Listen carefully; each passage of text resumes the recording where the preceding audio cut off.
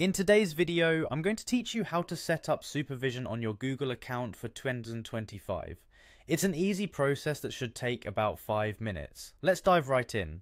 Start by opening your Google browser. You'll want to make sure you're logged into the correct account you wish to manage. Once you're in your browser, take a look at the top right corner where you'll see your Google account profile icon.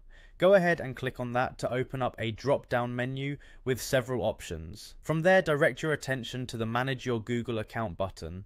Clicking on this will transport you to a hub that holds all the settings related to your Google account. Now look on the left hand side of the screen where you will find a menu with different sections. You will want to click on People and Sharing. Within the People and Sharing section, you are going to see a part labeled Your Family on Google. This is where you can set up and manage your family group. Click on Manage Your Family Group to proceed to the Family Settings page. This is crucial when you aim to keep a close eye on your family's digital interactions. Once you're on the Family Group Management page, look for the option labeled Parental Controls. Clicking on this will guide you through understanding how these controls are structured and how you can implement them for any children you wish to supervise. Here, you'll find a link that says read about parental controls. Make sure to click on it.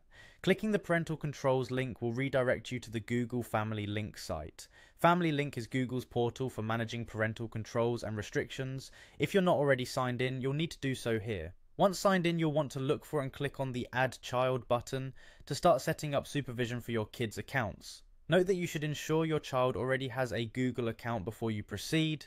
If they do, click Yes to confirm.